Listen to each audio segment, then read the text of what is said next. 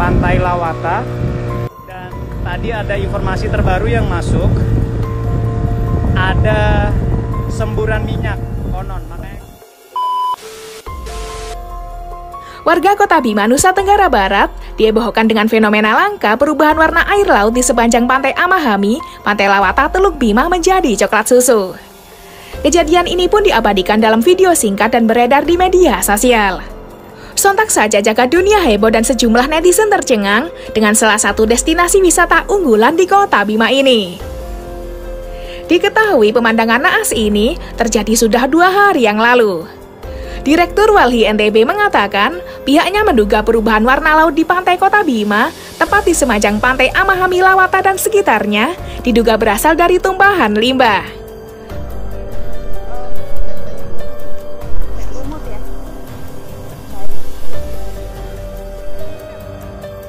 Gumpalan-gumpalan berwarna coklat licin dan menempel satu sama lain itu diduga berasal dari limbah yang bersumber dari kebocoran pipa Pertamina yang berada di pantai Lawata di kota Bima. Meski belum memunculkan perubahan bau air laut yang menyengat imbas tercemar, Direktur Walhi mengatakan bahwa perubahan penampakan dan bentuk air yang muncul semakin parah. Terlebih sudah muncul busa dan buih yang mengental dan kecoklatan di seluruh wilayah pantai yang cenderung mulai berbau ribuan biota laut dipastikan tercemar dan sebagian ikan mati.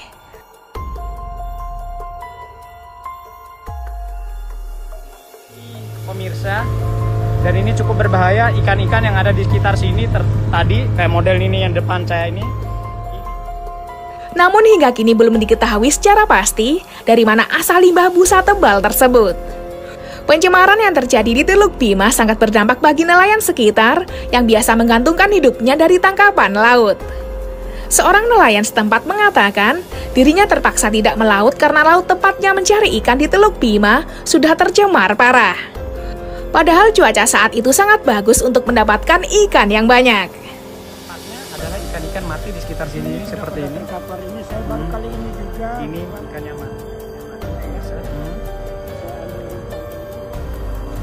jadi coba kita pegang saya mendekat kan juga dari dekat nah saya coba pegang seperti ini nah, seperti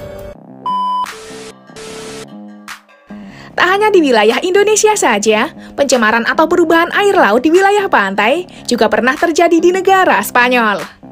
Kala itu, sempat terjadi hujan deras dan badai Gloria yang berakibat pada timbulnya busa tebal hingga ke tepi pemukiman di wilayah Catalonia, Spanyol.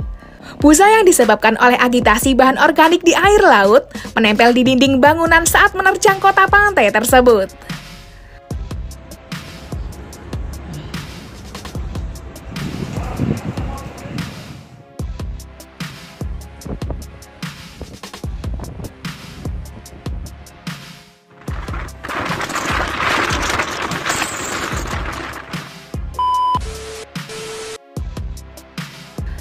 Peristiwa yang serupa juga sempat terjadi di wilayah Australia. Wilayah pantai Kurupin di daerah New South Wales Utara juga dipenuhi busa yang cukup tebal. Badai, hujan lebat, dan angin kencang yang melanda timur laut Australia itu memicu timbulnya busa tebal. Peristiwa tak biasa ini pun kemudian justru menarik minat wisatawan untuk bermain ke pesisir.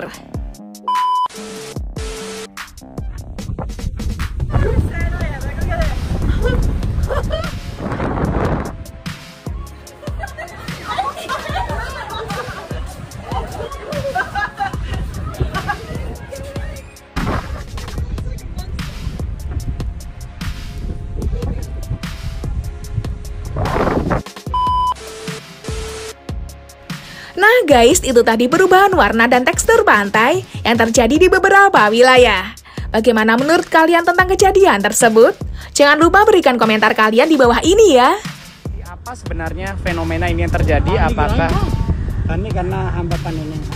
Apakah karena faktor minyak ada? Baik, uh, Tribuners ini ada beberapa warga kita akan coba temui lagi. Boleh?